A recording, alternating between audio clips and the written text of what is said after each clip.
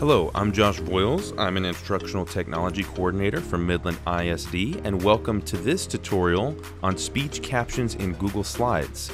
So, speech captions in Google Slides is something really good for you to be able to use, um, especially for students with accommodations, or if you just want to have that extra layer of uh, differentiation for students who like to both see the visual and read at the same time. So we'll go ahead and get started.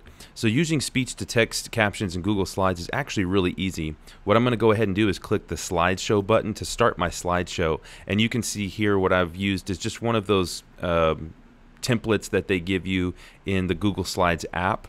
And as you can see, I can just scroll through some of my slides here. So it's just a regular slideshow. And what you may not have ever noticed is that down at the left hand corner, there's this little tab that will appear if you hover your mouse over that corner. And that will allow you to uh, go from one slide to the next with these little arrows.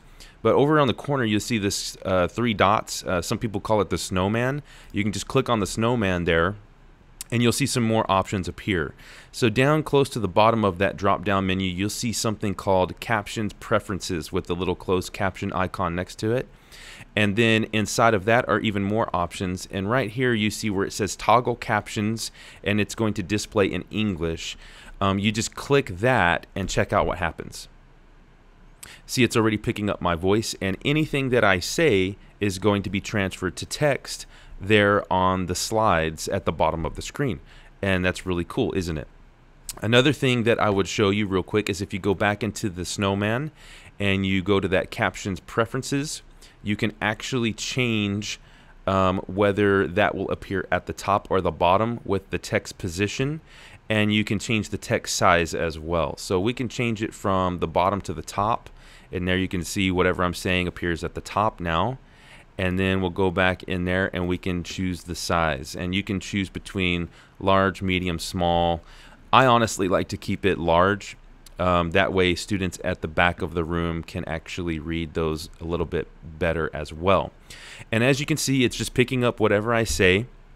And what's really great about this is that um, the program or the app will actually pick up your voice from whatever you're using. So it could be um, a built-in microphone that just comes with your computer or laptop, which is very convenient.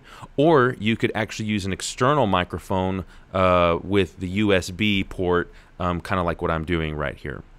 But either way, that should work out for you. One more thing I would show you before I let you go here is that if we go back into caption preferences and go into uh, that toggle captions, that is kind of actually the long way to do it. So I could click that um, and make it go away or click it again and you know have my text come back but there's an easier way so if you notice there's actually a keyboard shortcut command shift C so if I just type in Command Shift C, that will bring up my captions on and off automatically. So let's try Command Shift C, and there you see my captions are gone.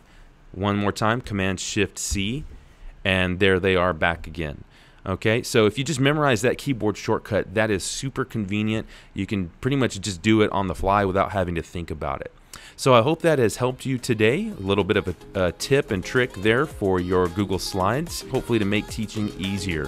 Thank you so much for joining me, and we will see you next time.